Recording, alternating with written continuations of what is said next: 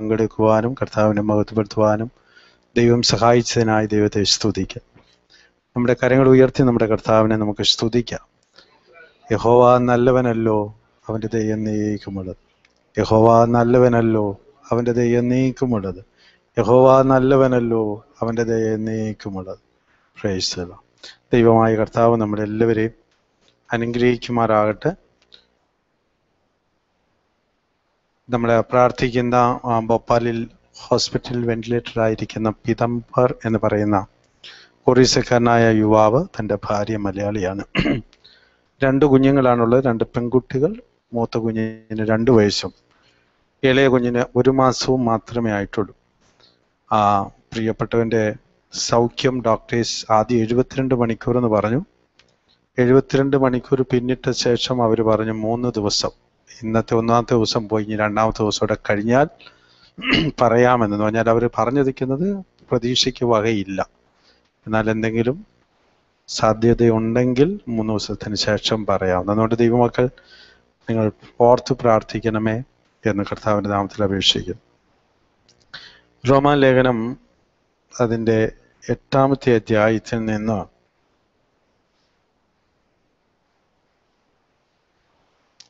പതിനാലാമത്തെ വാക്യം. റോമാലേഖനം എട്ടാമത്തെ അധ്യായം അതിന്റെ പതിനാലാമത്തെ വാക്യം നമുക്കറിയുന്ന ഒരു വാക്യമാണ്. ദൈവാത്മാവ് നടത്തുന്നവർ ഏവരും ദൈവത്തിന്റെ മക്കൾ ആവുന്നു.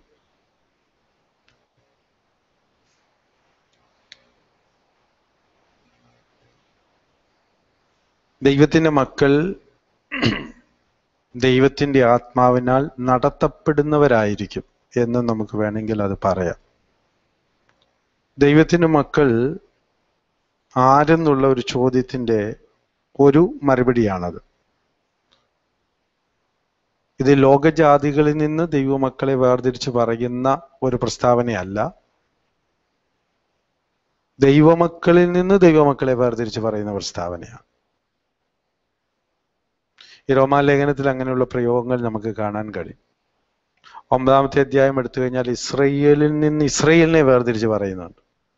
സാക്ഷാൽ ഇസ്രയേലിൻ ആരാണ് എന്ന് പറയുന്നത് ഇസ്രയേലിൽ നിന്ന് ഇസ്രയേലിനെ വേർതിരിക്കുന്നത് പോലെ ദൈവമക്കളിൽ നിന്ന് ദൈവമക്കളെ വേർതിരിക്കുക. അപ്പോൾ യഥാർത്ഥമായും ദൈവമക്കൾ ആരായിരിക്കും എന്നതിന്റെ വ്യക്തമായ മറുപടി.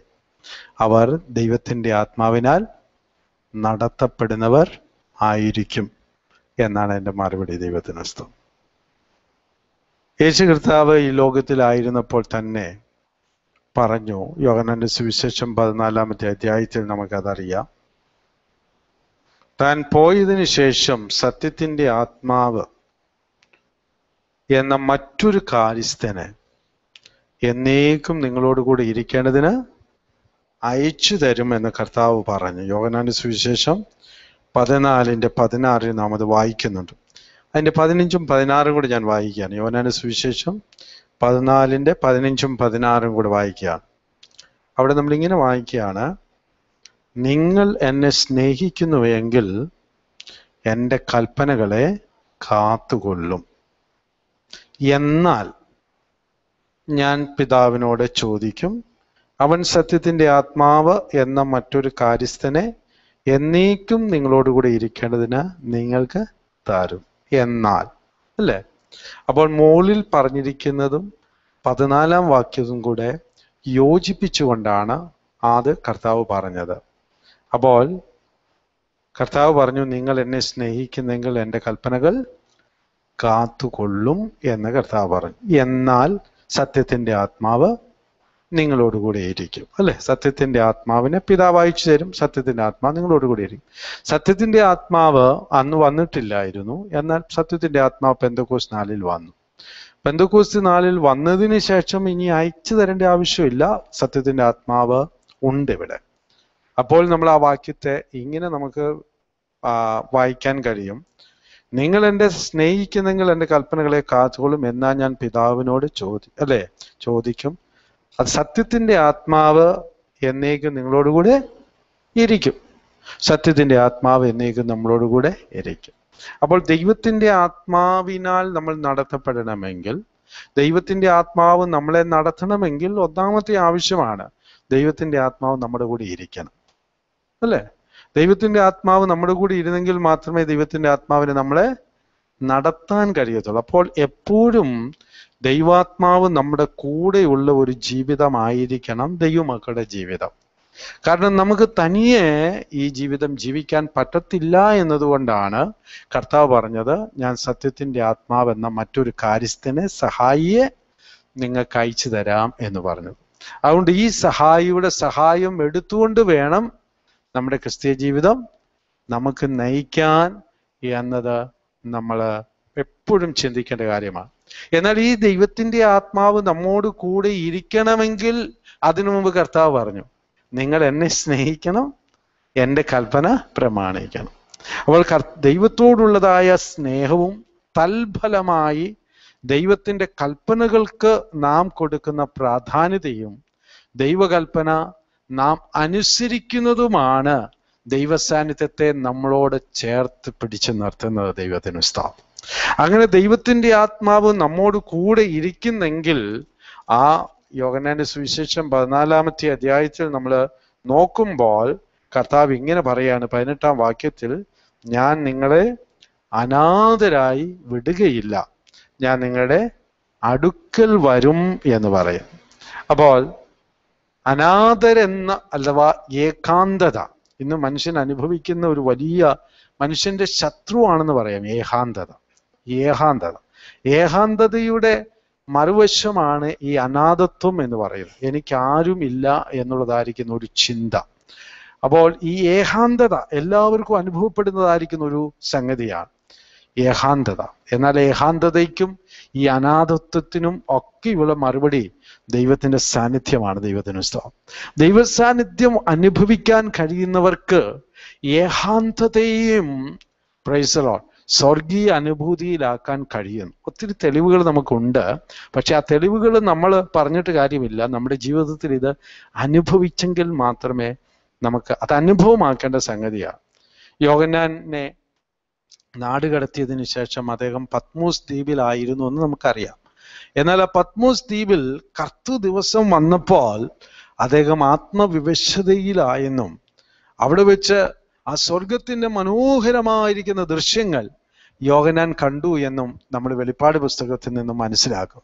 ഉയർത്തെഴുന്നേറ്റ യേശുവിനെ യോഹന്നാൻ മറ്റാരും കാണാത്ത നിലയിൽ യോഹന്നാൻ കാണുകയുണ്ടായി. പ്രൈസറോൺ ഉയർത്തെഴുന്നേറ്റ യേശുവിനെ ആ രൂപത്തിൽ മറ്റാരും കണ്ടില്ല. അതുപോലുള്ള ഒരു ദിവ്യമായ വെളിച്ചത്തിൽ അതെ യോഹന്നാൻ യേശുവിനെ കാണുകയുണ്ടായി. എന്നാൽ ഇതെല്ലാം തനിക്ക് ലഭിച്ചത് എപ്പോഴാണ്?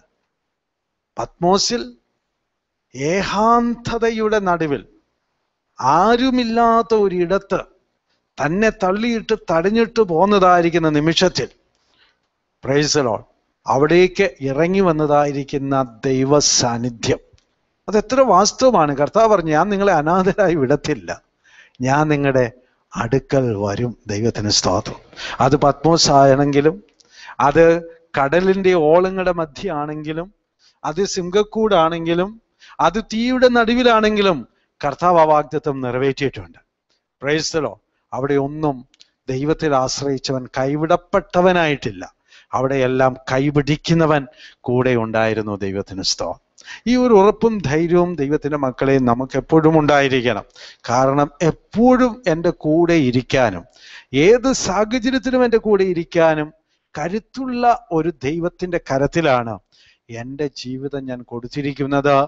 എന്നുള്ളതായിരിക്കുന്ന ബോധ്യം നമുക്ക് ഉണ്ടായിരിക്കണം അതുകൊണ്ട് ആ ദൈവത്തോടുള്ള ആ ദൈവത്തിന്റെ സ്നേഹവും കരുതലും നമ്മൾ ധ്യാനിക്കുകയും അതിനെ ഓർക്കുകയും തൽഫലമായി ആ ദൈവത്തോടുള്ള സ്നേഹം നമ്മുടെ ഉള്ളിൽ നിന്ന് പൊങ്ങുകയും വേണം. അങ്ങനെ ആ ദൈവസ്നേഹം നമ്മുടെ ഉള്ളിൽ നിന്ന് ഉയരുന്നതിന്റെ അടിസ്ഥാനത്തിലാണ് നമ്മളിൽ നിന്ന് അനുസരണം വെളിപ്പെടുന്നത്. അപ്പോൾ ദൈവത്തിന്റെ വചനത്തോട് ഒരു സ്നേഹമാണ് തൽഫലമായി നമുക്കുണ്ടാകുന്നത്. ദൈവത്തോടുള്ള സ്നേഹം ദൈവവചനത്തോടുള്ള സ്നേഹമാണ്. ദൈവത്തിന് സ്തോത്രം. ആ വചനങ്ങൾ സ്നേഹിക്കാൻ വചനത്തെ അറിയാൻ ആഗ്രഹിക്കുന്നു. കാരണം ആ കൽപ്പനകൾ നമ്മൾ എന്ത് ചെയ്യാൻ ആഗ്രഹിക്കുന്നു? പ്രമാണിക്കാൻ ആഗ്രഹിക്കുന്നു. ഒരു ഹെഡ് നോളജിന് വേണ്ടി അറിയാൻ വേണ്ടി ആഗ്രഹിക്കുന്നതല്ല പ്രമാണിക്കാൻ വേണ്ടി ആഗ്രഹിക്കുക. ദൈവത്തിന്റെ വചനം പഠിക്കേണ്ടത് എപ്പോഴും ഒരറിവ് കിട്ടാൻ വേണ്ടി പഠിക്കുന്നതല്ല. ദൈവവചനത്തിലെ മുഴുവൻ അറിവ് കിട്ടിയത് കൊണ്ട് നമ്മൾ ആരും സ്വർഗരാജ്യത്തിന് അവകാശികളാകത്തില്ല. അങ്ങനെ ആയിരുന്നെങ്കിൽ പ്രൈസറോ ബൈബിൾ കിസ് ഇട്ടിരുന്നെങ്കിൽ എനിക്ക് തോന്നുന്നത് അന്നത്തെ മഹാപുരോഹിതന്മാരൊക്കെ ഫസ്റ്റ് അടിച്ചാണ്. കാരണം ഹേരോദാവ് ചോദിച്ചു എവിടെയാണ് ക്രിസ്തു ജനിക്കേണ്ടത്? ഇതാ പിടിച്ച ഉത്തരം ബേദലഹേമിൽ പ്രൈസറോ പക്ഷെ അവരാരും ഇവിടെ കാണത്തില്ല. സ്വർഗരാജ്യത്തിൽ കാണത്തില്ല. ബൈബിൾ സംബന്ധിച്ച് ഭയങ്കര അറിവും കാര്യമൊക്കെ ആയിരിക്കാം. സ്വർഗരാജ്യത്തിൽ കാണത്തില്ല. കാരണം അതിനെ അവരുടെ ജീവിതത്തിൽ ഉൾക്കൊള്ളുവാൻ കഴിഞ്ഞില്ല ദൈവത്തിന് സ്തോത്രം. അതുകൊണ്ട് ഒരു ബൈബിൾ ക്വിസ് ജയി- ജയി- ജയിക്കാൻ വേണ്ടിയിട്ടൊന്നും അല്ല നമ്മൾ ബൈബിൾ വായിക്കുന്നത്. ഞാൻ കഴിഞ്ഞ ദിവസം ആരാണ്ടോട് പറഞ്ഞു ഞാൻ ഇത്ര പ്രാവശ്യം ബൈബിൾ വായിച്ചു എന്ന് പറയുന്നതിനകത്ത് യാതൊരു അർത്ഥവുമില്ല അങ്ങനെ എണ്ണം തീർക്കാൻ ആരും ബൈബിൾ വായിക്കണ്ട. പ്രൈസലോ പത്ത് പ്രാവശ്യമോ ഇരുപത് പ്രാവശ്യമോ ഒന്നും ബൈബിൾ വായിച്ചിട്ട് ഒരാവശ്യവുമില്ല ഒരു ഒരു ഒരു കാര്യവുമില്ല ബൈബിൾ വായിക്കാനുള്ളതല്ല ബൈബിൾ ധ്യാനിക്കാനുള്ളതാണ്. ബൈബിൾ ധ്യാനിച്ച് അത് നമ്മുടെ ജീവിതത്തിൽ അനർത്ഥമാക്കേണ്ടതാണ്. ചിലർ കുത്തിയിരുന്ന് വെറുതെ വായിക്കുന്നത് എന്തിനാന്ന് ചോദിച്ചാൽ ഇത്ര പ്രാവശ്യം വായിച്ചെന്ന് നാളെ പറയാൻ വേണ്ടി. അവരേതാണ്ട് കാര്യം സാധിച്ച മതി എന്റെ പ്രിയപ്പെട്ടവരെ ഇതിനകത്തൊന്നും യാതൊരു അർത്ഥവുമില്ല ദൈവത്തിന് സ്തോത്രം. അങ്ങനെ ആരെങ്കിലും വന്ന് ചോദിച്ചു നിങ്ങൾ എത്ര പ്രാവശ്യം ബൈബിൾ വായിച്ചിട്ടുണ്ടെന്ന് ചോദിക്കുമ്പോൾ അങ്ങനെ എണ്ണി പറയാനുള്ളൊന്നും നിവൃത്തിയില്ല എങ്കിൽ ചിലപ്പോൾ നമ്മൾ തല താഴ്ത്തി വെക്കേണ്ട അവസ്ഥ ഉണ്ടാകുമെന്ന് മാത്രമേ ഉള്ളൂ. ദൈവത്തിന് സ്തോത്രം. ജീവിതത്തിൽ ദൈവത്തിന്റെ വചനം പ്രമാണിക്കുന്നതിനകത്താണ് കാര്യമിരിക്കുന്നത്. എന്നാൽ അതിൽ നിന്ന് വിശാജ് നമ്മളെ വളരെ തന്ത്രപൂർവമായിട്ട് അങ്ങോട്ട് മാറ്റി നമുക്ക് കുറെ നോളജ് ഉണ്ടാക്കാനും നമുക്ക് കുറെ സമ്മാനം പിടിക്കാനും പ്രൈസ് റോൾ നമുക്കൊരു കോമ്പറ്റീഷനിൽ ജയിക്കാനും നമുക്ക് പ്രൈസ് റോൾ പത്ത് പ്രാവശ്യം ഇരുപത് പ്രാവശ്യം വായിച്ചെന്ന് പറയാനും ഒക്കെയുള്ള ഒരു വീമ്പടിക്കുന്ന സംഗതിയാക്കി ഇതിനെ മാറ്റി ദൈവത്തിന് സ്തോത്രം. എന്നാൽ പ്രമാണിക്കേണ്ടതിനെ ഈ നിലകളിൽ നമ്മൾ ആക്കി തീർത്തു ഹലോ പ്രൈസലോ എന്നാൽ ദൈവത്തെ നമ്മൾ സ്നേഹിക്കുന്നെങ്കിൽ ദൈവത്തിന്റെ മക്കളെ നമുക്ക് എന്തുണ്ടാകും? ദൈവത്തിന്റെ വചനത്തോട് നമുക്ക് അതേ ആഭിമുഖ്യമുണ്ടായിട്ട് സ്നേഹമുണ്ടായിട്ട് നാം രാവും പകലും അതിനെ ധ്യാനിക്കുകയും പ്രൈസർ എന്തിനാ ധ്യാനിക്കുന്നത്? അതെന്റെ ജീവിതത്തിൽ പാലിക്കണമെന്നുള്ള ഒരു ആഗ്രഹത്തോടു കൂടിയാണ് ദൈവത്തിന് സ്തോത്രം. പാലിക്കണമെന്നുള്ള ആഗ്രഹത്തോടു കൂടെ. ഹാല ലൂയ അതിനു വേണ്ടിയിട്ട് ദൈവവചനം നമ്മൾ പഠിക്കുന്നു.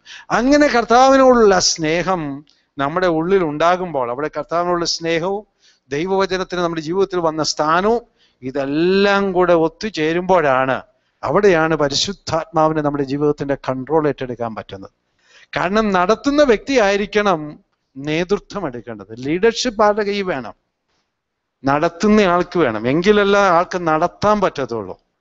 പ്രൈസർ അല്ലെങ്കിൽ നമ്മൾ നമ്മൾ പോകുന്നതിൽ നമ്മുടെ കൂടെ വരാനല്ല പരിശുദ്ധാത്മാവിനെ ദൈവം അയച്ചിരിക്കുന്നത്. നമ്മളെ നടത്താൻ വേണ്ടിയിട്ടാ. പ്രൈസറോ നമ്മൾ സാധാരണ പ്രാർത്ഥിക്കുന്ന കർത്താവെ ഞാൻ എവിടെ പോയാലും നീ എന്റെ കൂടെ ഇരുന്നു കൊള്ളണമേ എന്നാ ദൈവത്തിന് സ്തോത്രം. അതല്ലാതെ കർത്താവെ നീ എന്നെ നയിക്കുന്നിടത്തേക്ക് ഇന്ന് പൽക്കാലം നടക്കാനുള്ള കൃപ എനിക്ക് തരണമേ. നീ എന്നെ കൊണ്ട് ചെയ്യിക്കാൻ ആഗ്രഹിക്കുന്നത് ചെയ്യാനുള്ള കൃപ തരണമേ. പ്രൈസറോ നീ എന്നെ നടത്തണേ. നീ എന്നെ നയിക്കണേ. നീ എന്നെ നടത്തുന്ന പാതയിൽ നടക്കാനുള്ള കൃപ തരണമേ എന്നല്ലേ നമ്മൾ വാസ്തവത്തിൽ പ്രാർത്ഥിക്കേണ്ടത്. ദൈവത്തിന് സ്തോത്രം. അതുകൊണ്ട് പ്രിയപ്പെട്ടവരെ പരിശുദ്ധാത്മാവ് നമ്മുടെ കൂടെ നടക്കാനല്ല നമ്മളെ നടത്താനാണ് നമ്മുടെ കൂടെ ഉള്ളത്. അതുകൊണ്ട് ലീഡർഷിപ്പ് പരിശുദ്ധാത്മാവിനായിരിക്കണം. അവനാണ് അവൻ നമ്മളെ നടത്തണം. അപ്പോൾ നമ്മൾ പരിശുദ്ധാത്മാവിന് വിധേയപ്പെട്ട് നടക്കണം. അങ്ങനെയുള്ള ഒരു അറ്റ്മോസ്ഫിയർ അങ്ങനെയുള്ള ഒരു സാഹചര്യം ഒരുങ്ങണമെങ്കിൽ നാം കർത്താവിനെ സ്നേഹിക്കുകയും അവന്റെ കൽപ്പനകൾ പ്രമാണിക്കുന്ന അനുസരിക്കുന്ന ഒരു ഹൃദയം നമ്മുടേതാകുകയും ചെയ്യണം. അപ്പോഴാണ് പരിശുദ്ധാത്മാവിന് നമ്മുടെ ഹൃദയത്തിനകത്ത് ആക്ടിവേറ്റ് ആകുവാൻ ദൈവത്തിന്റെ ആത്മാവിന് ക്രിയ ചെയ്യുവാൻ പ്രവർത്തിക്കുവാൻ ഇടയാകുന്നത് ദൈവത്തിന് സ്തോത്രം. അങ്ങനെ ഒരു ഹൃദയത്തിലാണ് ദൈവശബ്ദം തിരിച്ചറിയാൻ കഴിയുന്നത്. ദൈവം നമ്മളവിടെ ആരോടും സംസാരിക്കാത്തത് കൊണ്ടല്ല ദൈവശബ്ദം നമ്മൾ തിരിച്ചറിയാത്തത് എന്ന് നമ്മൾ മനസ്സിലാക്കണം. എല്ലാവരോടും ദൈവം സംസാരിക്കുന്നുണ്ട്. പക്ഷേ യേശു പറഞ്ഞ എന്റെ ആടുകൾ എന്റെ ശബ്ദം കേൾക്കും. പക്ഷെ ഒരു കാര്യം കൂടെ അവർ ചെയ്യും. അന്യന്റെ ശബ്ദം അവർക്ക് അറിയത്തില്ല. അറിയത്തില്ലാത്തത് കൊണ്ട് അവരെന്ത് ചെയ്യും? അന്യനെ വിട്ടവര് ഓടിപ്പോവും ശബ്ദം അറിയത്തില്ല. കാരണം എന്റെ ശബ്ദം മാത്രമേ അവർക്ക് അറിയത്തുള്ളൂ.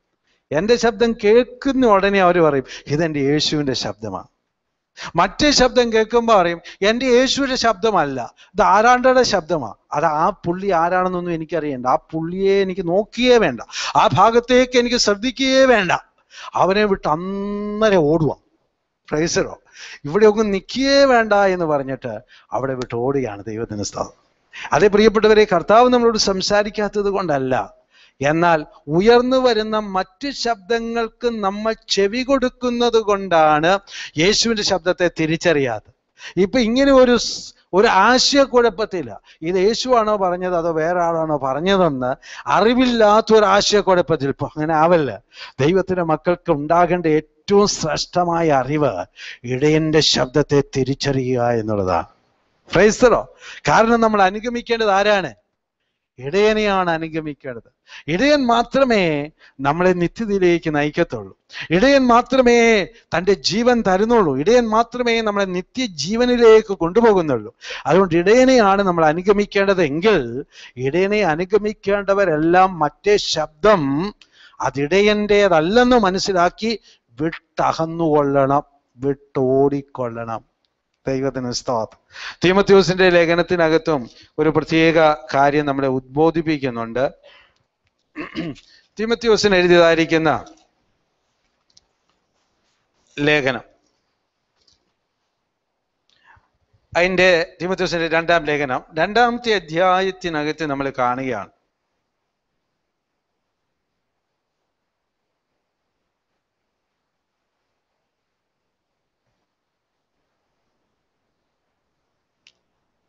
അതിന്റെ പതിനാല് മുതലുള്ള വാക്യങ്ങളിൽ പൗലൂസ് അപ്പോസ്തലൻ തീമത്യോസിന് ചില നിർദ്ദേശങ്ങളൊക്കെ കൊടുക്കുക. ഈ രണ്ടാമത്തെ തീമത്യോസിലെ ലേഖനം എഴുതുന്നത് പൗലൂസ് അപ്പോസ്തലൻ രണ്ടാം പ്രാവശ്യം ബന്ധനസ്ഥനായി ഒരു കുണ്ടറയിൽ കടക്കുമ്പോഴാണ്. ആദ്യത്തെ പ്രാവശ്യം അല്പം കൂടെ ഞാൻ കഴിഞ്ഞ ആഴ്ച പറഞ്ഞ പോലെ സ്വാതന്ത്ര്യമുണ്ടായിരുന്നു ആളുകളെ സ്വീകരിക്കാനും കാണാനും ഒക്കെ എന്നാൽ രണ്ടാമത്തെ പ്രാവശ്യം അറസ്റ്റ് ചെയ്തപ്പോൾ പിന്നെ ഏറ്റവും ഒരു കുണ്ടറയിലാണ് പൗലൂസിനെ ഇട്ടത്. അങ്ങനെയുള്ള ഒരു സ്ഥാനത്ത് നിന്ന് താന് തന്റെ അറസ്റ്റ് വളരെ പെട്ടെന്നായിരുന്നു. ത്രവാസി വെച്ചാണ് അറസ്റ്റ് ചെയ്യപ്പെട്ടതെന്നാണ് പറയുന്നത്. അവിടെ നിന്ന് അറസ്റ്റ് ചെയ്യുന്നതായ സമയത്ത് തനിക്ക് തന്റെ വിലപ്പെട്ട പുസ്തകങ്ങളും എടുക്കാൻ മറന്നുപോയി. എന്ന് പറഞ്ഞാൽ മറന്നുപോയതല്ല എടുക്കാനുള്ള സാവകാശം അവർ കൊടുത്തില്ല. പുതപ്പെടുക്കാൻ പറ്റിയില്ല. ഇങ്ങനെ അത്യാവശ്യം തന്റെ സമ്പത്തായിരുന്നതൊന്നും എടുക്കാൻ പറ്റിയില്ല. അന്ന് അദ്ദേഹം പുസ്തകം എന്നൊക്കെ പറയുന്നത് പഴയ നിയമ ചുരുളുകളൊക്കെയാണ് ദൈവത്തിന് സ്തോത്രം. കാരണം അതൊക്കെയാണ് അദ്ദേഹത്തിന്റെ ജീവിതത്തിന്റെ ആനന്ദവും സന്തോഷവും എന്നൊക്കെ പറയുന്നത്. പക്ഷെ ഇതൊന്നും എടുക്കാൻ അനുവദിക്കാതെ കൊണ്ട് അത്ര ധൃതി പിടിപ്പിച്ച് എന്ന് പറഞ്ഞാൽ പിടിച്ചോണ്ടിഞ്ഞ് പോകുന്ന അറസ്റ്റ് ചെയ്തുകൊണ്ട് പോരുന്ന ഒരു വല്ലാത്ത ഒരു സംഭവമായി അങ്ങനത്തെ ഒരു അവസ്ഥയിലൂടെ കടന്നുപോയി കുണ്ടറയുടെ അനുഭവത്തിൽ കിടന്ന് ഏറ്റവും ക്ലേശകരമായ ഒരു അനുഭവത്തിൽ കടന്നുകൊണ്ട് തന്റെ പ്രിയപുത്രനായ തീമത്യോസിന് താൻ നിയോഗം കൊടുക്കുകയാണ്. കാരണം തനിക്കറിയാം ഇതോടുകൂടെ തന്റെ അവസാനമാണെന്നുള്ളത് എനിക്ക് വളരെ വ്യക്തമാണ്. ദൈവത്തിന് സ്തോത്രം. അപ്പോൾ തന്നോട് പറയുകയാണ് രണ്ടിന്റെ പതിനാല് മുതൽ പറയുകയാണ് കേൾക്കുന്നവരെ മറിച്ചു കളയുന്നതിനല്ലാതെ ഒന്നിനും കൊള്ളാത്ത വാഗ്വാദം ചെയ്യാതിരിക്കണം. അല്ലേ? പ്രൈസ് പിന്നെ അങ്ങോട്ട് താഴോട്ട് പറഞ്ഞു പതിനഞ്ചിൽ പറഞ്ഞു സത്യവചനത്തെ നീ എന്ത് ചെയ്യണം? യഥാർത്ഥമായിട്ടും നീ പ്രസംഗിക്കണം. എന്ന് പറഞ്ഞാൽ സത്യവചനത്തെ നീ പ്രസംഗിക്കുമ്പോൾ ശ്രദ്ധിക്കണം അതിനെ എന്ത് ചെയ്യണം? യഥാർത്ഥമായും എന്ന് പറഞ്ഞാൽ ഉള്ളത് ഉള്ളതുപോലെ തന്നെ നീ പ്രസംഗിക്കണം എന്ന് പറഞ്ഞു. വീണ്ടും പറഞ്ഞു പതിനാറാം വാക്യത്തിൽ പറഞ്ഞു ഭക്തിവിരുദ്ധമായ വൃതാലാഭങ്ങളെ നീ ഒഴിഞ്ഞിരിക്കണം എന്നൊക്കെ പറഞ്ഞു. അങ്ങനെയൊക്കെ ചെയ്യുന്നവർക്ക് അഭക്തി ഉണ്ടാകും എന്ന് പറഞ്ഞിട്ട് അങ്ങനെ അഭക്തി ഉണ്ടാക്കുന്ന കേൾക്കുന്നവരെ മറിച്ചു കളയുന്നവരുടെ വാക്കുകൾ അർബുദവ്യാധി പോലെ മനുഷ്യന് പടർന്നു പിടിക്കുമെന്നവർ കാരണം ഈ ക്യാൻസറിന്റെ ഒരു പ്രത്യേകത എന്ന് പറഞ്ഞാൽ ക്യാൻസർ അടുത്തുള്ള സെല്ലുകളെ നശിപ്പിച്ച് കളയും. ക്യാൻസർ വന്നു കഴിഞ്ഞാൽ ഒരു സെല്ലിന് വന്നു കഴിഞ്ഞാൽ അത് അടുത്ത സെല്ലിനെ എന്ത് ചെയ്യും? നശിപ്പിക്കും. അതങ്ങനെ വേഗം സ്പ്രെഡ് ആകും ഇതുപോലെയാണ് ഭക്തിവിരുദ്ധമായ കാര്യങ്ങൾ. അത് വേഗം സ്പ്രെഡ് ആകും ഒരുത്തനിൽ ഒരുവരി വ്യക്തിനിൽ ഭക്തിവിരുദ്ധമായ ആശയങ്ങൾ ഉണ്ടായാൽ അത് മറ്റൊരു വ്യക്തിയിലേക്ക് വേഗത്തിൽ വ്യാപിക്കും. അത്രയും വേഗത്തിൽ സത്യവചനം വ്യാപിക്കുന്നില്ല. സത്യവചനം ഒരു വ്യക്തിയുടെ നല്ല ഹൃദയത്തിൽ മാത്രമേ മുളയ്ക്കത്തുള്ളൂ.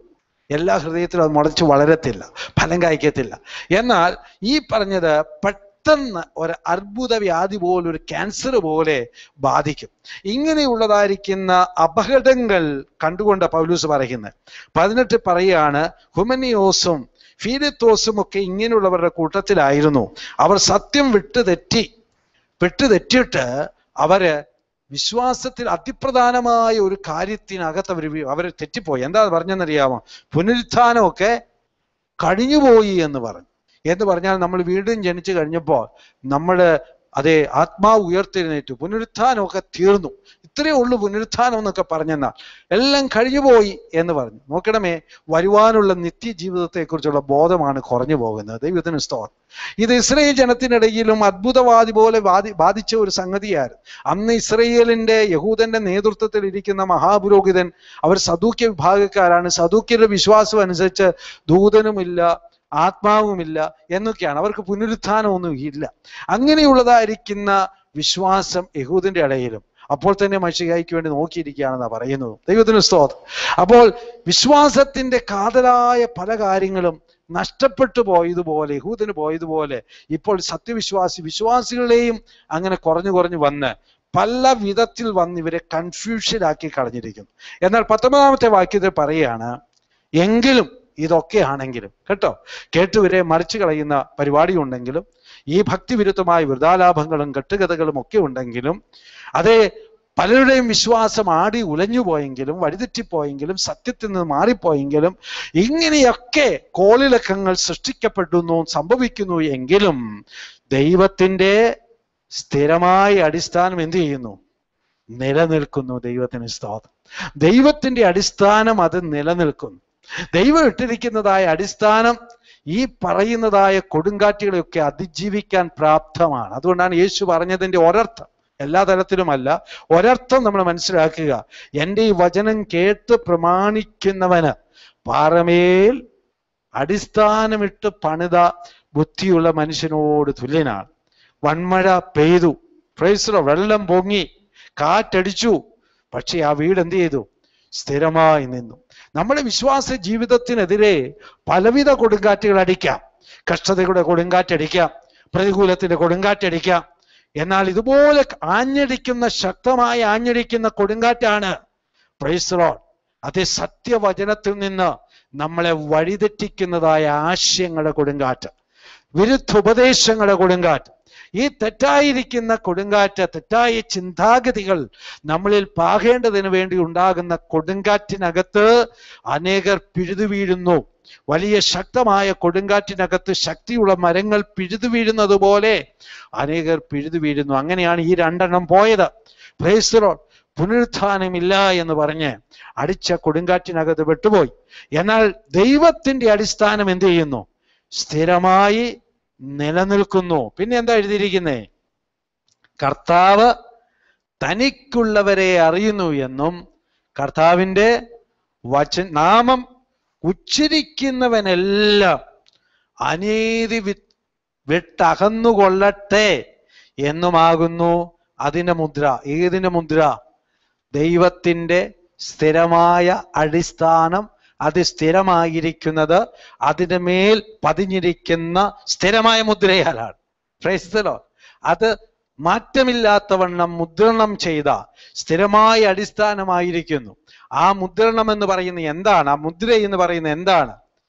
ദൈവം തനിക്കുള്ളവരെ അറിയുന്നു. ദൈവത്തിന് സ്തോത്രം. എന്തുകൊണ്ട് അറിയുന്നു? ഹാലലൂയ ഞാൻ എന്റെ ആടുകളെ അറിയുന്നു. എന്റെ ആടുകൾ എന്നെ അറിയുന്നു. ക്രൈസ്തലോ അപ്പോൾ വിശ്വാസത്തിന്റെ സ്ഥിരമായ അടിസ്ഥാനം എന്താണെന്നറിയാമോ? ഹാലലൂയ നമ്മുടെ തലമണ്ടയ്ക്കകത്തുള്ള അറിവല്ല. പ്രൈസ്ലോ ദൈവവചനം എത്രമാത്രം നമ്മുടെ തലയ്ക്കകത്തുണ്ടെന്നുള്ളതല്ല. ദൈവവചനം എത്രമാത്രം നമ്മുടെ ഹൃദയത്തിലുണ്ടെന്നുള്ളതാണ്. എത്രമാത്രം ഞാനും എന്റെ ദൈവവുമായിട്ടുള്ള ബന്ധം സ്ഥിരതയുള്ളതാണെന്നാണ്. എത്രത്തോളം ഞാൻ എന്റെ യേശുവിനെ അറിയുന്നുണ്ട് എന്നുള്ളതാണ്. എന്റെ യേശുവിന്റെ ശബ്ദം തിരിച്ചറിയാൻ കഴിയത്തക്ക നിലയിൽ എന്റെ യേശുവിനെ ഞാൻ അറിയുന്നുണ്ടെങ്കിൽ അതാണ് സ്ഥിരമായ അടിസ്ഥാനം എന്ന് പറയുന്നത്. ആ സ്ഥിരമായ അടിസ്ഥാനമുള്ളവൻ യേശു പറഞ്ഞു അവനെക്കുറിച്ച് പേടിയൊന്നുമില്ല. അവൻ എന്റെ ശബ്ദം അറിയുന്നു. അന്യന്റെ ശബ്ദം അറിയായ കൊണ്ട് അവൻ അന്യനെ വിട്ട് എന്ത് ചെയ്യും ഓടി ഇങ്ങോട്ട് പോരും. എങ്ങോട്ട് പോരും? ഈ ശബ്ദം കേൾക്കുന്ന ഉടനെ ഓടി എന്റെ അടുത്തേക്ക് പോരും. പ്രൈസലോ ഹാലൂയ ഒരു കുഞ്ഞാട് തന്റെ ഇടയന്റെ അടുക്കിലേക്ക് ഓടിപ്പോകുന്നത് പോലെ. ഒരു കുഞ്ഞ് തന്റെ അമ്മയുടെ അടുക്കിലേക്ക് അപകടം കാണുമ്പോൾ ഓടിപ്പോകുന്നത് പോലെ ഒരു കോഴിക്കുഞ്ഞ് തന്റെ തള്ളക്കോഴിയുടെ ചിറകിലേക്ക് അപകടം കാണുമ്പോൾ ഓടിപ്പോകുന്നത് പോലെ ആശയക്കുഴപ്പങ്ങൾ ചിന്താക്കുഴപ്പങ്ങൾ വീഴ്ത്തുവാൻ കഴിയുന്ന പ്രതികൂലങ്ങൾ ജീവിതത്തിന് നേരെ ആഞ്ഞടിക്കുന്നതായ സമയത്ത് യേശുവിനെ അറിയുന്നവൻ അവന്റെ രക്തത്തിന്റെ വില അറിയുന്നവൻ അവന്റെ സ്നേഹത്തിന്റെ വലുപ്പം അറിയുന്നവൻ യേശുവിന്റെ അടുക്കിലേക്ക് ഓടിച്ചെന്ന് ആ മാറോട് ചേർന്നിരിക്കാൻ ശ്രമിക്കും. കർത്താവേ എനിക്കറിയില്ലേ? എന്നെ നിന്നെ നിന്ന് അകറ്റിക്കളയാൻ പിടിച്ചു മാറ്റുവാൻ ശത്രു പലവിധമായി ശ്രമിക്കുമ്പോൾ ഇല്ലപ്പാ നിന്നെ നിന്ന് അകലാൻ ഇടയാകല്ലേ എന്ന് പറഞ്ഞ് അവനെ അള്ളിപ്പിടിക്കുവാൻ തകടമിടയാവും അങ്ങനെ ക്രിസ്തുവിനെ അറിയുന്നത് ദൈവവുമായിട്ടുള്ള ബന്ധം അതൊരു സ്ഥിരമായ അടിസ്ഥാനമാണ്. ഹാലൂയ അതിന്റെ മുദ്ര എന്താന്ന് പറഞ്ഞാൽ ദൈവം അവനെ അറിയുന്നു. അപ്പോൾ നമുക്കൊരു ബോധ്യമുണ്ട്. എന്റെ കർത്താവ് എന്നെ അറിയുന്നു. എന്റെ ഉള്ളത്തെ അറിയുന്നു. എന്റെ ഹൃദയത്തെ അറിയുന്നു. എന്റെ ആഗ്രഹത്തെ അറിയുന്നു. അവനോടുള്ള എന്റെ സ്നേഹത്തെ അറിയുന്നു. ആ നിത്യതയ്ക്ക് വേണ്ടിയുള്ള എന്റെ ആഗ്രഹത്തെ അറിയുന്നു. പ്രൈസ്തലോ വല്ല വിധേനയും അവനോട് ചേരുവാനുള്ള എന്റെ കാംക്ഷയെ അറിയുന്നു. ദൈവത്തിന് സ്തോത്രം. അവൻ എന്നെ അറിയുന്നു. ഹാലലൂയ അതാണ് നമ്മുടെ ആത്മാവിന്റെ ബലം. അതാണ് നമ്മുടെ ആത്മാവിന്റെ ശക്തി. അവനുള്ള ദൈവത്തിന്റെ നിയോഗം നീ അനീതിയെല്ലാം വിട്ട് ഓടിക്കൊള്ളണം. ഹാലലൂയ അനീതിയെ കണ്ട് ഓടിപ്പോരുകയാണ്. അതുകൊണ്ട് ഇടയൻ അല്ലാത്തവന്റെ ശബ്ദം അവൻ ഇടയന്റെ ശബ്ദമല്ലെന്നറിഞ്ഞ് ഓടിപ്പോരുന്നത് പോലെ ഓടിപ്പോരുന്നു. പ്രിയപ്പെട്ടവരെ ഇങ്ങനെ ഉള്ള ഒരു പരിസ്ഥിതിയിലാണ് ദൈവത്തിന്റെ ആത്മാവിന് നമ്മളെ നടത്താൻ ഗുണം കഴിയുന്നത്. ദൈവം നമ്മളോട് സംസാരിക്കാഞ്ഞിട്ടല്ല പലപ്പോഴും. അവന്റെ ശബ്ദത്തെ തിരിച്ചറിയാൻ തക്കണം. നമ്മൾ സെൻസിറ്റീവ് ആകാത്തത് കൊണ്ടാണ്. നമ്മൾ ഈ ആശയക്കുഴപ്പത്തിൽ കടക്കുന്നത് കൊണ്ടാണ്. അതുകൊണ്ട് ആശയക്കുഴപ്പങ്ങളിൽ നിന്ന് നാം മടങ്ങി വരണം. ആശയക്കുഴപ്പങ്ങളിൽ നിന്ന് നമ്മൾ വിടുതൽ പ്രാപിക്കണം. ഒരു കൺഫ്യൂഷനല്ല എന്താന്ന് തിരിച്ചറിയത്തില്ലാത്തൊരു ലൈഫല്ല നമ്മൾ ഏറ്റവും നിത്യതയെക്കുറിച്ചുള്ള ദർശനം ഏറ്റവും നന്നായി കാണുന്നവരായി.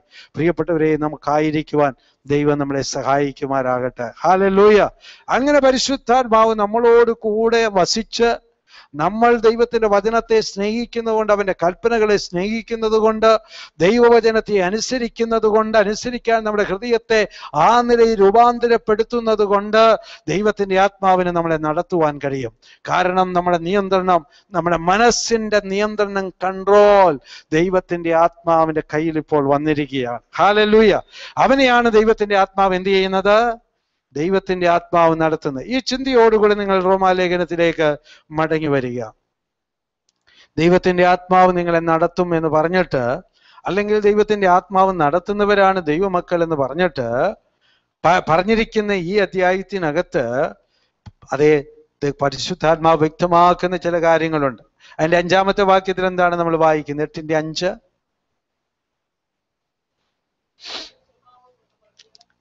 ജഡസ്വഭാവമുള്ളവർ എന്ത് ചെയ്യുന്നു?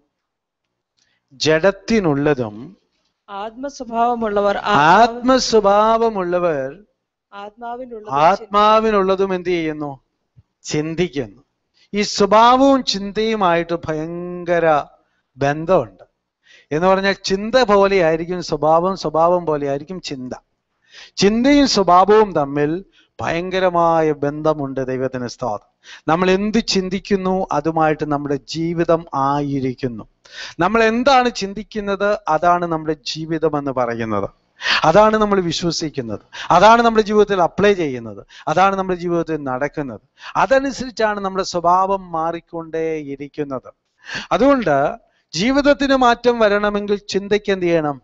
മാറ്റം വരണം. ചിന്തയ്ക്ക് മാറ്റം വന്നാൽ സ്വഭാവത്തിനും മാറ്റം വരും. ഈ ജഡസ്വഭാവമുള്ളവൻ എന്ന് പറഞ്ഞെന്നാൽ ഇംഗ്ലീഷ് ബൈബിൾ വായിക്കുമ്പോൾ നമുക്ക് കാണാൻ കഴിയുന്നത് പ്രൈസറോ എന്താണ്? Sinful controlled by sinful nature എന്ന് പറഞ്ഞാൽ പാപ സ്വഭാവത്താൽ നിയന്ത്രിക്കപ്പെടുവൻ എന്നാണ്. പാപ സ്വഭാവത്തിന് മേൽക്കൈയുണ്ട് അവൾ. പാപ സ്വഭാവമാണ് അവരെ കൺട്രോൾ ചെയ്യുന്നത്. എന്നാൽ ഈ ആത്മസ്വഭാവമുള്ളവൻ ആത്മീയനെ കുറിച്ച് ഇവിടെ തന്നെ ആ ഇംഗ്ലീഷ് വേർഡ് നമ്മൾ വായിക്കുമ്പോൾ കാണുന്നത് കൺട്രോൾഡ് ബൈ സ്പിരിറ്റ് അപ്പോൾ ദൈവത്തിന്റെ ആത്മാവിനാൽ നിയന്ത്രിക്കപ്പെടുന്നവൻ. അപ്പോൾ ദൈവത്തിന്റെ ആത്മാവിനും നടത്താൻ പറ്റുന്നവനെ അവന്റെ മനസ്സിനെ mind controlled by Holy Spirit ആ മനസ്സിനെ നിയന്ത്രിക്കുന്ന ആരാണ്? പരിശുദ്ധാത്മാവാണ്. മറ്റേ മനസ് മനസ്സിനെ ആരാണ് നിയന്ത്രിക്കുന്നത്? സിൻഫുൾ നേച്ചറാണ് നിയന്ത്രിക്കുന്നത്. അപ്പോൾ ഒന്നിനെ പാപം നിയന്ത്രിക്കുന്നു മറ്റൊന്നിനെ പരിശുദ്ധാത്മാവ് നിയന്ത്രിക്കുന്നു. അല്ലെങ്കിൽ ഒന്നിനെ ജഡം നിയന്ത്രിക്കുന്നു മറ്റതിനെ ആത്മാവ് നിയന്ത്രിക്കുന്നു എന്നാണ് നമ്മൾ ഇവിടെ കാണുന്നത്. അപ്പോൾ ദൈവത്തിന്റെ ആത്മാവ് നടത്തുന്ന ഏവരും ദൈവത്തിന്റെ മക്കൾ. ആ ദൈവത്തിന്റെ ആത്മാവ് ആരെയാ നടത്തുന്നത്? ദൈവത്തിന്റെ ആത്മാവിന് നേതൃത്വം കിട്ടിയിരിക്കുന്ന.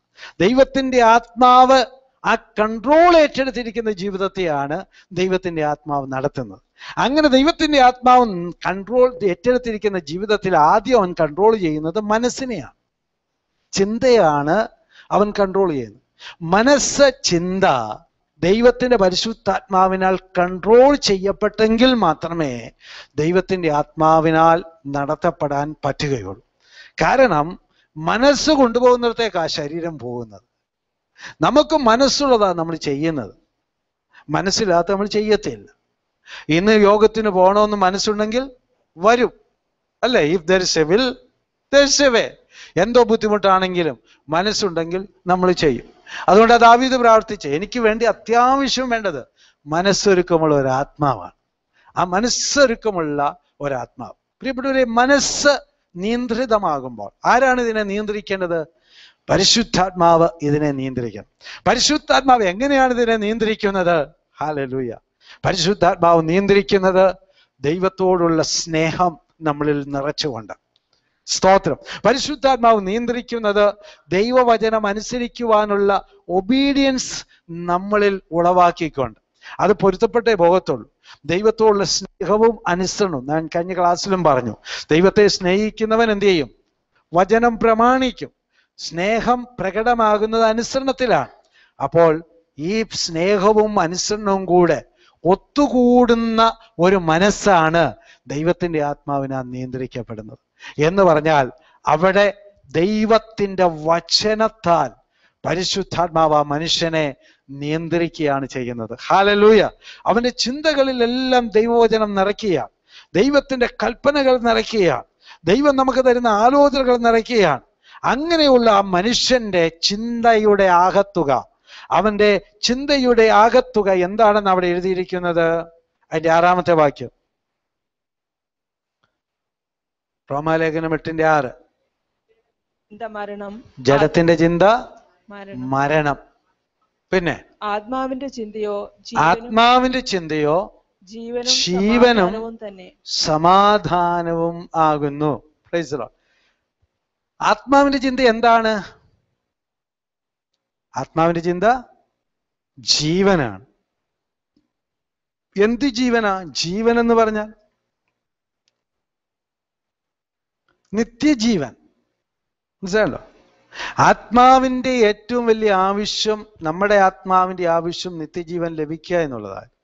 അത് അകൃത്യങ്ങളിലും അതിക്രമങ്ങളാലും പാപങ്ങളാലും മരിച്ചു കിടക്കായിരുന്നു എന്നാൽ നിത്യജീവനെ പ്രാപിച്ചതായിരിക്കുന്ന നമ്മുടെ അന്തരാത്മാവിൽ പരിശുദ്ധാത്മാവ് ഉളവാക്കുന്നതായ ആഗ്രഹം ഈ നിത്യജീവനെ മുറുകെ പിടിക്കുക എന്നുള്ള ആഗ്രഹമാണ്. അതെപ്പോഴും നോക്കുന്ന നിത്യജീവങ്കിലേക്കാണ് അതിന്റെ ലക്ഷ്യം എന്താന്ന് ചോദിച്ചാൽ എനിക്ക് ജീവനിൽ പ്രവേശിക്കണമെന്ന. പ്രൈസ്തലോ എനിക്ക് ജീവനിൽ പ്രവേശിക്കണം. അതിന്റെ ആഗ്രഹം ജീവനാണ്. മരണത്തിൽ നിന്ന് രക്ഷപ്പെട്ടതിന്റെ സന്തോഷമാണ് ഉള്ളിലുള്ളത്. അതാണ് ഈ രക്ഷയുടെ സന്തോഷം എന്ന് പറയുന്നത്. അതാണ് ദാവീദ് പറയുന്നത് രക്ഷയുടെ സന്തോഷം എന്ത് ചെയ്യരുത്? എന്നിൽ നിന്ന് നീ തിരികെ എടുക്കരുത്. അതെപ്പോഴാ തിരികെ പോകുന്നത്? ആത്മാവ് വീണ്ടും മരിക്കുമ്പോൾ ആത്മാവ് ചത്താൽ ഈ രക്ഷയുടെ സന്തോഷം പോകും പിന്നെയും അവൻ എങ്ങോട്ട് പോകും നരകത്തിലേക്ക് പോകും അതുകൊണ്ട് എന്റെ ആത്മാവ് ചാകല്ല്. അതുകൊണ്ട് ആ രക്ഷയുടെ സന്തോഷം പോകല്ല്. എന്നാൽ രക്ഷിക്കപ്പെട്ട ഒരു പൈതൽ ദൈവത്തിന്റെ പൈതലിൽ അവനിൽ നിത്യജീവൻ അവന് ലഭിച്ചിരിക്കുന്നത് കൊണ്ട് അവന്റെ ആത്മാവിന്റെ ചിന്ത നിത്യജീവനെക്കുറിച്ചുള്ള ചിന്തയാണ്. രണ്ട് അവിടെ പറയുന്നത് എന്താണ്? സമാധാനം. എന്ത് സമാധാനത്തെക്കുറിച്ചാണ് പറയുന്നത്? റോമാലേഖന അഞ്ചിന്റെ ഒന്നിൽ പറയുന്നു. എന്താണ് ഒന്നിന്റെ അഞ്ച്? അഞ്ചിന്റെ ഒന്നിൽ പറയുന്നത് വിശ്വാസത്താൽ നീതീകരിക്കപ്പെട്ടിട്ട് നീതീകരിക്കപ്പെട്ടിട്ട് നമ്മുടെ കർത്താവായ യേശു ക്രിസ്തു നമ്മുടെ കർത്താവായ യേശു ക്രിസ്തു മുഖാന്തരം നമുക്ക് ദൈവത്തോട് നമുക്ക് ദൈവത്തോട് എന്തുണ്ട്? സമാധാനമുണ്ട്. ഫ്രൈസലോ എന്ന് പറഞ്ഞാൽ നമ്മുടെ റിലേഷൻ പുനഃസ്ഥാപിക്കപ്പെട്ടിരിക്കുന്നു. ദൈവവുമായിട്ടുള്ള ബന്ധം പുനഃസ്ഥാപിക്കപ്പെട്ടിരിക്കുന്നു. നേരത്തെ നമ്മൾ ദൈവത്തിന്റെ ശത്രുക്കളായിരുന്നു. ഇപ്പോൾ ദൈവത്തിന്റെ മക്കളായി. നീതീകരണം പ്രാപിച്ച് പ്രാഗൽഭ്യത്തോടെ ദൈവം മുമ്പിൽ നിൽക്കാൻ പ്രാപ്തരായി.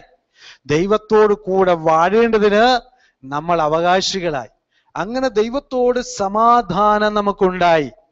അപ്പോൾ ആത്മാവിന്റെ ചിന്ത ഒന്ന് നിത്യജീവൻ രണ്ട് ദൈവവുമായിട്ടുള്ള എന്റെ റിലേഷൻ ദൈവവുമായിട്ടുള്ള സമാധാനം ദൈവത്തെ വേദനിപ്പിക്കല്ല ദൈവത്തെ ഇനി പിണക്കല്ല് ദൈവത്തെ ഇനി നൊമ്പരപ്പെടുത്തരുത് ദൈവത്തിന് ഇഷ്ടമില്ലാത്ത ഇനി ഞാൻ ചെയ്യരുത് ദൈവത്തിൽ നിന്ന് ഞാൻ ഇനി അകലാൻ കാരണമാകരുത്. എന്റെ ദൈവവുമായിട്ടുള്ള ബന്ധം എനിക്ക് ഏറ്റവും വിലപ്പെട്ടതാണ്. ഇതാണ് ആത്മാവിന്റെ ചിന്ത. പ്രൈസലോ ഇതാത്മാ ആത്മാവിന്റെ ചിന്ത. അതുകൊണ്ട് ആത്മാവിന്റെ സ്വഭാവം അതുമായി പൊരുത്തപ്പെട്ടിരിക്കുന്നു. നിത്യജീവൻ ലക്ഷ്യമാക്കിയുള്ള ജീവിത ശൈലിയാണ് ആ മനുഷ്യന് ഇനി നെയ്തെടുക്കാൻ പറ്റുന്നത്. അവന് മുമ്പിൽ രണ്ട് രണ്ട് കാര്യമേ ഉള്ളൂ. ഒന്ന് അവന്റെ നിത്യത അവന് മുമ്പിൽ കാണണം. രണ്ട് എന്റെ ദൈവവുമായി എനിക്ക് തന്നിരിക്കുന്ന ഈ ബന്ധം ഒരിക്കൽ കളഞ്ഞു കുളിച്ച ബന്ധം വീണ്ടും അവന്റെ പുത്രനായ യേശു കൊടുത്ത വിലയുടെ അടിസ്ഥാനത്തിൽ മടക്കി കെട്ടിയതാണ്. ഈ ബന്ധം ഒരിക്കലും നഷ്ടപ്പെടരുത്. ദൈവവുമായിട്ടുള്ള എന്റെ സമാധാനമാണ് എനിക്ക് ഏറ്റവും വലുതെന്ന് പറഞ്ഞ് ഒരു കയ്യിൽ നിത്യജീവനും മറുകയിൽ ദൈവവുമായിട്ടുള്ള ബന്ധവും അമർത്തിപ്പിടിക്കുന്ന മനുഷ്യനാണ് ജഡ ആത്മസ്വഭാവമുള്ളവൻ ദൈവത്തിന് സ്ഥാപനം ഹലലൂയ ഹലലൂയ അപ്പോൾ ദൈവത്തിന്റെ ആത്മാവ് നമ്മളെ നടത്തുമ്പോൾ ഒരു ലക്ഷ്യബോധത്തോടു കൂടിയാണ് നടത്തുന്നത്.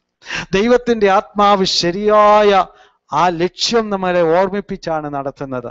ഇത് രണ്ടും കൈവിട്ട് കളയാതെ വണ്ണം മുറുകെ പിടിച്ചുകൊള്ളുവാനാണ് ദൈവത്തിന്റെ ആത്മാവ് നടത്തുമ്പോൾ നമ്മളെ നടത്തുന്നത് ദൈവത്തിന് സ്തോത്രം. പ്രിയപ്പെട്ടവരെ ഏത് തീരുമാനമെടുക്കുമ്പോഴും ഈ രണ്ട് കാര്യങ്ങളും നമ്മുടെ തീരുമാനം ശരിയാകാനായിട്ടുള്ള മാർഗമാണ്. ഏത് തീരുമാനം എടുക്കുമ്പോഴും എന്ത് ചെയ്യുന്നതിന് മുമ്പും എന്തും വേണമോ വേണ്ടയോ എന്ന് തീരുമാനിക്കുന്നതിന് മുമ്പും എന്തും നല്ലതോ തെറ്റോ എന്ന് അതെ വിവേചിക്കുന്നതിന് മുമ്പും വിവേചിക്കാൻ കഴിയത്തക്ക നിലയിൽ ഇത് നമ്മുടെ കണ്ണുകളെ പ്രകാശിപ്പിക്കുന്നതാണ്. നമുക്കൊരു കാര്യത്തെ കണ്ട് തിരിച്ചറിയാൻ രണ്ട് കണ്ണുകൾ തന്നിട്ടുള്ളത് പോലെയാണ് ഇതിരിക്കുന്നത് പ്രശസ്തലോ എന്താണ്? ഒന്ന് നമ്മൾ നോക്കേണ്ടത് നമ്മുടെ നിത്യജീവനാണ്. ഏറ്റവും പ്രധാനപ്പെട്ടത് എനിക്ക് എന്താണ് നിത്യജീവനാണ് യേശു കർത്താവ് പറഞ്ഞത് ഓർക്കുന്നുണ്ടല്ലോ.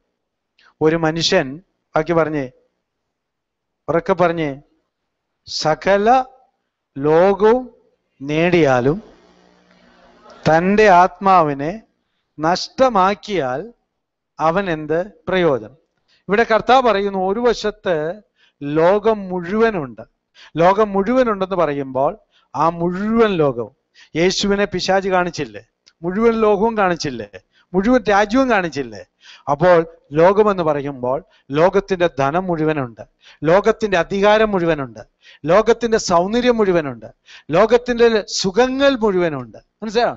ഈ ലോകത്തിന്റെതായ അധികാരങ്ങളും ലോകത്തിന്റെ ധനവും ലോകത്തിന്റെ മഹിമയും ലോകത്തിന്റെ മഹത്വവും ലോകത്തിന്റെ സൗന്ദര്യങ്ങളും ലോകത്തിന്റെ ഉല്ലാസങ്ങളും ലോകത്തിന്റെ ആനന്ദവും ഇതെല്ലാം കൂടെ അടങ്ങുന്നതാണ് ഈ ലോകമെന്ന് പറയുന്നത്. അതാണ് സർവലോകം എന്ന് പറയുന്നത്. മനസ്സിലായി? ലോകമല്ല സർവലോകം ഈ ലോകത്തിൽ എന്തൊക്കെയുണ്ടോ എന്തൊക്കെയുണ്ടോ അതെല്ലാം കൂടെ ഉൾപ്പെട്ടതായ ആ മുഴുവൻ ലോകവും ഒരു വശത്തിരിക്കുമ്പോൾ മറുവശത്ത് പ്രൈസലോ നമ്മൾ ആ ത്രാസിലേക്ക് വെക്കുന്ന എന്തായിരിക്കും? ഹാലേ ലൂയ ഏ? സ്തോത്രം. ഇതിന്റെ വില ഇതിന് വിലയുണ്ടോ? ഇതെനിക്ക് ആഗ്രഹിക്കാൻ പറ്റുന്നതാണോ? അല്ല ഇതിനി നഷ്ടപ്പെട്ടാൽ കുഴപ്പമുള്ള കാര്യമാണോ? എന്ന് മനസ്സിലാക്കാൻ വേണ്ടി മറുവശത്തേക്ക് എടുത്തു വെക്കേണ്ടത് നിത്യജീവനെയാണ്. ജീവൻ. ഹലല്ലൂയ്യ എന്നിട്ട് മാറി മാറി നോക്കണം. ഇവിടെ നിത്യജീവന ഇവിടെ സർവ ലോകവും ഏതാണ് എനിക്കിപ്പോൾ വേണ്ടത്? പ്രൈസലോ സർവലോകവും എനിക്ക് നേടാൻ കഴിഞ്ഞാൽ അത് കുറച്ച് നാളത്തേക്ക് മാത്രമായിരിക്കും. എന്നാൽ എന്റെ ജീവിതത്തിനൊരു അവസാനമുണ്ട്. കുറച്ച് കഴിയുമ്പോൾ ഈ ലോകം എനിക്കൊന്നുമല്ലാത്തതായി മാറും. വിലയില്ലാത്തതായി മാറും. സൗന്ദര്യമില്ലാത്തതായി മാറും.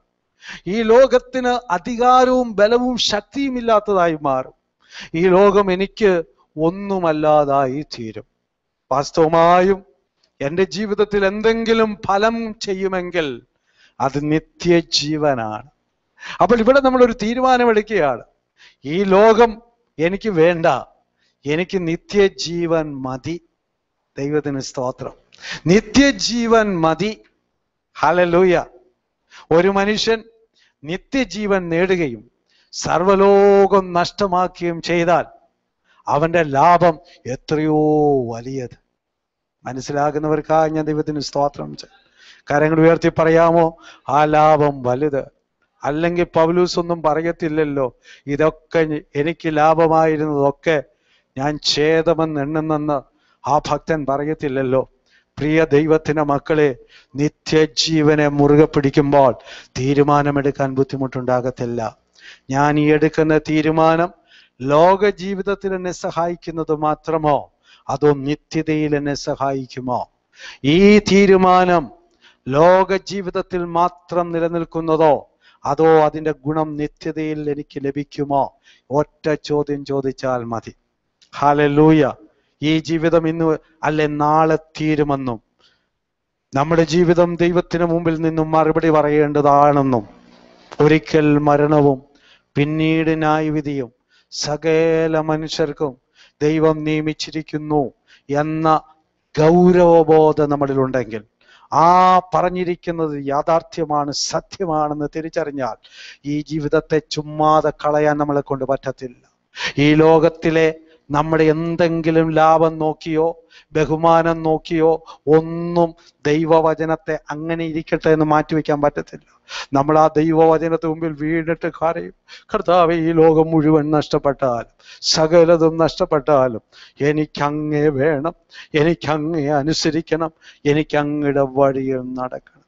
പ്രൈസലോ ഞാൻ ഈ ഓപ്പറേഷൻ വിധേയപ്പെടുന്നതിന് മുമ്പ് രണ്ടും രണ്ടിലൊന്ന് സംഭവിക്കാവുന്ന ഒരു സാഹചര്യമാണെന്ന് എനിക്കറിയാമായിരുന്നു.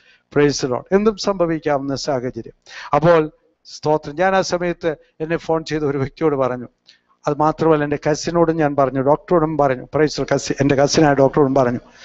രക്ഷിക്കപ്പെട്ട് ഇതെന്ന് പറഞ്ഞാൽ ദൈവത്തെ സേവിക്കാൻ കഴിഞ്ഞതിന്റെ വില എന്ന് പറഞ്ഞാൽ പ്രൈസ് അത് ഏറ്റവും നന്നായിട്ട് മനസ്സിലാകുന്ന ഒരു സമയമാണ്.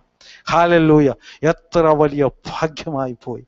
തിരിഞ്ഞു നോക്കുമ്പോൾ കർത്താവിന് വേണ്ടി ജീവിക്കാൻ ജീവിക്കാൻ തീരുമാനിച്ചത് സ്തോത്രം ബുദ്ധിയായി പോയി. ഹാലല്ലൂയ ഇപ്പോൾ ജീവിതത്തിന് ഒരു ഉത്തരമുണ്ട്. ജീവിതത്തിനൊരു പ്രത്യാശയുണ്ട്. ജീവിതത്തിനൊരു ധൈര്യമുണ്ട്.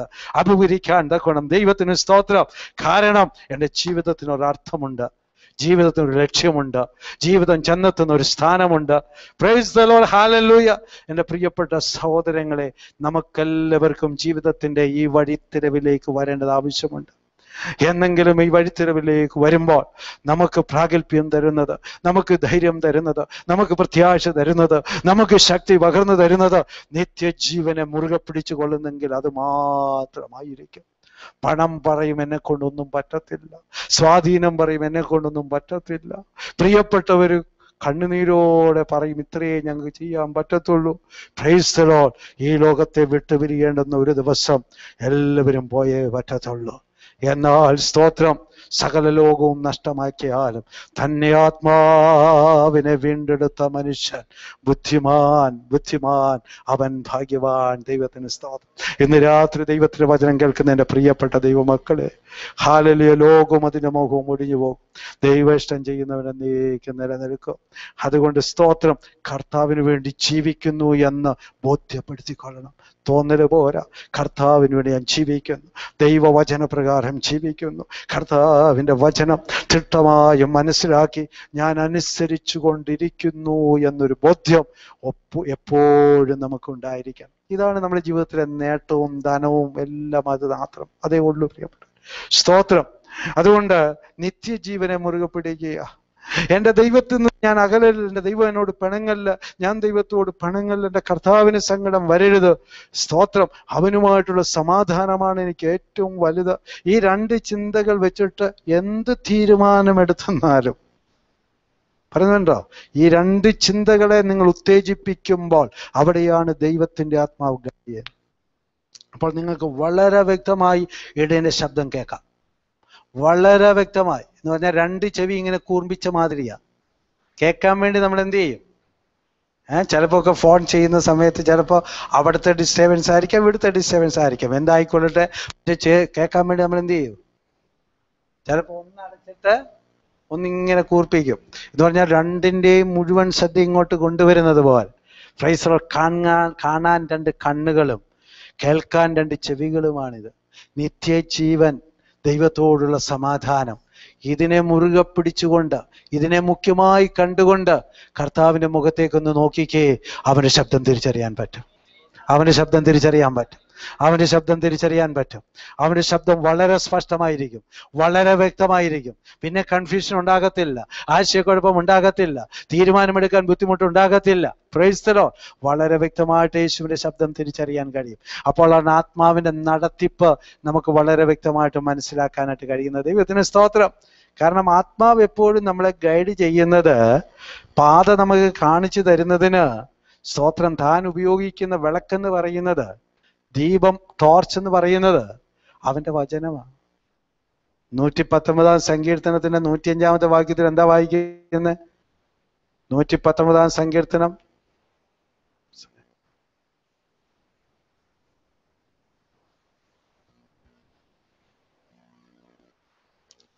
പെട്ടെന്ന് വായിച്ച നമ്മുടെ സമയം മുമ്പോട്ട് പോകുന്നുണ്ട്. ഞാൻ ഇവിടെ നിർത്തിയാണ് മുമ്പോട്ട്. നിന്റെ കാര്യങ്ങൾ പറയാൻ ഓർത്തു നടക്കത്തില്ല. ആ പറഞ്ഞു. നിന്റെ വചനം എന്റെ കാലിന് ദീപവും നിന്റെ വചനം എന്റെ കാലിന് ദീപവും എന്റെ കാലിന് ദീപവും എന്റെ പാതയ്ക്ക് പ്രകാശവുമാകുന്നു. എന്റെ പാതയ്ക്ക് പ്രകാശവുമാകും അപ്പോൾ നമ്മുടെ കാലിന് ദീപം എന്ന് പറഞ്ഞാൽ എന്തിനാ നമ്മൾ ദീപം എടുക്കുന്നേ? വഴി അറിയാൻ. കാലെവിടെയെങ്കിലും തട്ടിപ്പോകാതിരിക്കാൻ മുള്ളിൽ ചവിട്ടിപ്പോകാതിരിക്കാൻ കുഴിയിൽ വീഴാതിരിക്കാൻ വഴി കൃത്യമായിട്ട് മനസ്സിലാകാൻ വേണ്ടിയിട്ടാണ് നമ്മൾ ദീപം ഉപയോഗിക്കുന്ന അല്ലെങ്കിൽ ടോർച്ച് ഉപയോഗിക്കുന്ന അല്ലെങ്കിൽ വിളക്ക് ഉപയോഗിക്കുക അപ്പോൾ നമ്മുടെ വിളക്ക് എന്താ? ദൈവവചനമാ വിളക്ക്. അപ്പോൾ ദൈവത്തിന്റെ ആത്മാവ് നമ്മളെ നടത്തുമ്പോൾ ദൈവത്തിന്റെ ആത്മാവ് വചനം കത്തിക്കുക ചെയ്യും. വചനം പ്രകാശിപ്പിക്കുക ചെയ്യും. അപ്പോൾ നമ്മുടെ ഹൃദയത്തിൽ ദൈവവചനം നമ്മൾ സൂക്ഷിക്കുമ്പോൾ നൂറ്റി പത്തൊമ്പതാം സങ്കീർത്തനത്തിൽ തന്നെ ദാവീദ് പറയുന്നുണ്ട് ബാലൻ തന്നെ നടപ്പിനെ നിർമ്മലമാക്കുന്നത് എങ്ങനെയാണ്? എങ്ങനെയാ? നിന്റെ വചനത്തെ അവന്റെ ഹൃദയത്തിൽ സൂക്ഷിക്കുന്നതിനാലാണ്. അപ്പോൾ ദൈവവചനം നമ്മുടെ ഹൃദയത്തിൽ സൂക്ഷിക്കുന്നത് കൊണ്ട് ദൈവത്തിന്റെ ആത്മാവ് നമ്മുടെ ഹൃദയത്തിലുള്ള വചനത്തെ പ്രകാശിപ്പിക്കും. അങ്ങനെയാണ് ദൈവാത്മാവ് ആലോചന തരുന്നത്. അല്ലാതെ അശരീരിയ സൗണ്ട് മുഖാന്തരം അല്ല ഒരു അശരീരി അല്ല ദൈവം നമ്മളെ നടത്തുന്ന ഓർക്കണം. ദൈവശബ്ദം കേൾക്കേണ്ടത് ദൈവവചനത്തിൽ നിന്ന്. പക്ഷെ പുസ്തകത്തിലെ വചനത്തിൽ നിന്നും അല്ല മനസ്സിലാണ്ടോ പിന്നെ എവിടെയുള്ള വചനം? ഹൃദയത്തിലുള്ള വചനം. നമ്മൾ ധ്യാനിച്ച് രാവും പകലും ധ്യാനിക്കുന്ന വചനം. നമ്മൾ ഹൃദയത്തിൽ സംഗ്രഹിക്കുക. ഇങ്ങനെ സ്റ്റോർ ചെയ്യുക. ഇങ്ങനെ സംഗ്രഹിക്കപ്പെട്ടിരിക്കുന്ന ദൈവവചനത്തിൽ നിന്നാണ് പ്രൈസറോ അതാത് സമയങ്ങളിൽ കർത്താവെ എന്താ ചെയ്യേണ്ടത്? ആലോചനയ്ക്ക് വേണ്ടി ദൈവത്തിന്റെ തിരുമുഖത്തേക്ക് നോക്കുമ്പോൾ ആ ഇടിയന്റെ ശബ്ദം നമുക്ക് കേൾക്കാൻ കഴിയുന്നത് അവന്റെ വചനത്തിൽ നിന്ന് പരിശുദ്ധാത്മാവ് നമ്മുടെ ഓർമ്മയിലേക്ക് പ്രകാശിപ്പിച്ചു കൊണ്ടെത്താൻ ഹാലലൂയ ആ വചനം നമുക്ക് കേൾക്കുമ്പോൾ നമുക്ക് കഴിയാം. ബലം ദൈവത്തിനുള്ളതെന്ന് ദൈവം ഒരിക്കൽ പറഞ്ഞു. പക്ഷെ സങ്കീർത്തനകാരൻ പറയാ ഞാൻ രണ്ടു പ്രാവശ്യം കേട്ടെന്ന്. ഫ്രൈസറോ ദൈവം ഒരിക്കൽ പറഞ്ഞ കാര്യം നമ്മളിങ്ങനെ കേട്ടുകൊണ്ടേയിരിക്കും. എങ്ങനെ കേട്ടുകൊണ്ടിരിക്കും? അതാത് അവസരങ്ങളിൽ കേട്ടുകൊണ്ടിരിക്കും. എപ്പോഴാണ് ആ ശബ്ദത്തിന്റെ ആവശ്യമുള്ളത് വീണ്ടും നമ്മൾ കേൾക്കും. ഹല്ലേലൂയ. ഈ കേട്ടത് വീണ്ടും നമ്മൾ കേൾക്കും. കാരണം ദൈവം തന്റെ വചനത്തിലൂടെ എന്നും സംസാരിക്കുന്ന ദൈവം. ഇങ്ങനെ മനസ്സിലാക്കുന്നവർക്കാണ് ഇടയന്റെ ശബ്ദത്തെ തിരിച്ചറിയാൻ തകണം കഴിയുന്നത്. അവർക്കാണ് ആത്മ നടത്തിപ്പ് മനസ്സിലാക്കാൻ കഴിയുന്നത്. അവരൊക്കെയാണ് ദൈവ ശബ്ദം തിരിച്ചറിയാൻ കഴിയുന്നത്. അവർക്ക് ആ ദൈവശബ്ദം തിരിച്ചറിഞ്ഞ് മുമ്പോട്ട് പോകുവാനായിട്ട് കഴിയുന്നു. ദൈവത്തിന് സ്തോത്രം. ഹാലല്ലുയ നിങ്ങൾ ഇത് ഉൾക്കൊള്ളണമേ. വീണ്ടും വീണ്ടും ധ്യാനിക്കണമേ. ഞാൻ ഈ പറഞ്ഞത് മനസ്സിലാക്കാൻ ട്രൈ ചെയ്യണം ശ്രമിക്കണമേ. അപ്ലൈ ചെയ്യാൻ ശ്രമിക്കണമേ. അങ്ങനെ ദൈവശബ്ദം കേൾക്കാൻ തക്കണമായി എല്ലാവരും പരിശീലിക്കണം ദൈവശബ്ദം കേൾക്കണം. ഹാലലൂയ നാളെ ഏതെങ്കിലും കാരണത്താൽ കൂട്ടായ്മയ്ക്കുള്ള സ്വാതന്ത്ര്യം നഷ്ടപ്പെട്ട ഒരവസരത്തിലാണെങ്കിൽ പോലും ദൈവശബ്ദം കേൾക്കാൻ കഴിയണം. പത്മോസ് ദ്വീപിൽ പ്രൈസ്ലോഡ് ആരെയും ഇതുമായിട്ടുള്ള കൂട്ടായ്മ അതെ യോഹന്നാൻ ഇല്ലായിരുന്നു ഫെലോഷിപ്പ് ഇല്ലായിരുന്നു. അവിടെ ആരാധന ഇല്ലായിരുന്നു യോഗമില്ലായിരുന്നു. ഒന്നുമില്ലായിരുന്നു. എങ്കിലും സ്വർഗത്തിലെ ദൈവത്തിന്റെ സാന്നിധ്യം തനിക്കവിടെ അനുഭവിക്കാൻ കഴിഞ്ഞു. നമ്മളൊക്കെ ആകുന്ന ഏത് സാഹചര്യങ്ങളാണെങ്കിലും ദൈവത്തിന്റെ സാന്നിധ്യം അവിടെ ഉണ്ട്. ഞാൻ നിങ്ങളെ അനാഥരായി വിടത്തില്ല എന്ന് പറഞ്ഞവൻ അവിടെ പ്രൈസ്തലോൾ അവന് ശബ്ദം തിരിച്ചറിയാൻ കഴിഞ്ഞാൽ. ഹാലല്ലൂയി അവന്റെ ദർശനം കാണാൻ കഴിഞ്ഞാൽ അവിടെയും ദൈവത്തിന്റെ സഹിത്വം നമുക്ക് അനുഭവിക്കാൻ കഴിയും. ഹാലല്ലൂയ നമുക്ക് കർത്താവിന്റെ മുഖത്തേക്ക് നോക്കാം. ഹാലല്ലൂയ്യ ദൈവസനത്തിലേക്ക് വരാം. പ്രത്യേകിച്ച് കർത്തുമേശിയുമായിട്ടുള്ള ബന്ധത്തിൽ. ഹാലലിയ കർത്താവിന്റെ ആ മഹാസ്നേഹത്തെ ഓർത്തുകൊണ്ട് കർത്താവിന്റെ ആ സ്നേഹത്തെ ധ്യാനിച്ചുകൊണ്ട് നമുക്ക് ദൈവത്തിന്റെ സന്നിധിയിലേക്ക് വരാം. കർത്താവേ പാപികളും ദോഷികളുമായിരുന്ന ഞങ്ങൾ. കർത്താവെ നരകയോഗ്യരായിരുന്ന ഞങ്ങൾ. എന്നേക്കും നശിച്ചു പോകേണ്ടിയിരുന്ന ഞങ്ങൾ. ആ നരകത്തിൽ പോയി കർത്താവെ കത്തേണ്ടിയിരുന്നവരായ ഞങ്ങൾ. ഞങ്ങളെ രക്ഷിക്കുവാൻ ദൈവത്തിന് തിരുഹിതമായി തീർന്നല്ലോ എന്നത് ഓർത്തുകൊണ്ട് നമുക്ക് ദൈവത്തെ സ്തുതിക്കാം. ഹാലേ ലൂയ്യ ഹാലേ ലൂയ്യ ഇത്രമേൽ ഇത്രമേൽ. നമ്മൾ ആ പാടി ആ പാടി